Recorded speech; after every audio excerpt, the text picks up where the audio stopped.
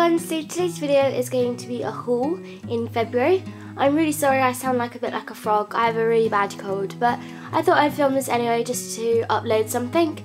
So I went shopping yesterday, I went to my local pet store, I went to the Pet Hut which is an attachment to my local Poundstretcher which is like a huge place um, with loads of stuff and I often talk about it because it's like a VO Vet warehouse, it's got the Boredom Breaker and the Naturals range. So it's a really great shop and I always shop there.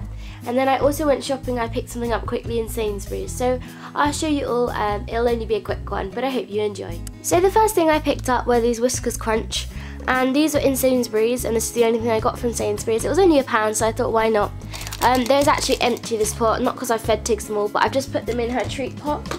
Now, um, because of my very lovely subscribers, Tig's treat pot is so full.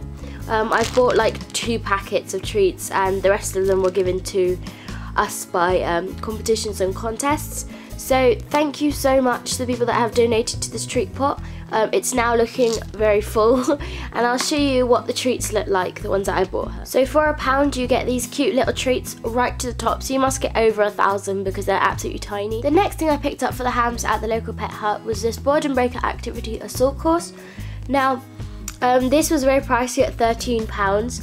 Um, I know you can find them more expensive and I know you can find them cheaper, but because it was local and easy for me, I did pick it up.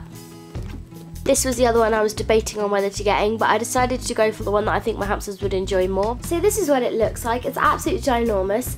It's got like a wooden tunnel in there and it's like a climbing frame.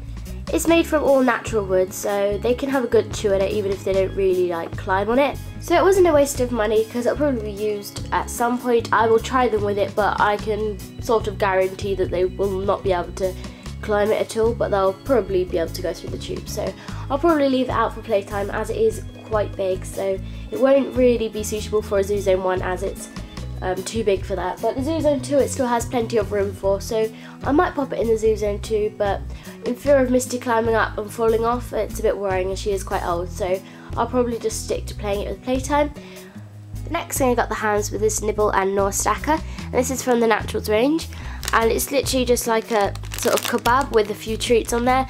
I don't know what it looks like, and I'm not going to open it until um, there's a special occasion or one of the pets is maybe ill as a treat because it's quite big. I was thinking of chopping it in half and giving half and half to the pets, but the whole point is it's on one long stick, so I'm not sure yet. And the last thing I got, which was an essential, was just the bathing sand from Supreme, and this cost me £4, which is quite pricey. But it is quite pricey in most places. It's not very interesting, so I'm not going to go into detail, but it cost me £4 and you, if you buy breathing sand, you have to make sure that it is sand and not dust. The last thing I got was a medium flying saucer. Now I broke my um, blue one the other day because I sat on it by accident whilst filming a video, um, which was a bit of a shame, so like the bit there broke. Um, so I had to buy another one, but I've actually managed to glue it, so it might be okay. So because I broke it, I thought it was only fair if I bought Misty another one so that she could enjoy it. Um, it's in the green colour, and I'll show it to you because it's not in this box, it's in her cage.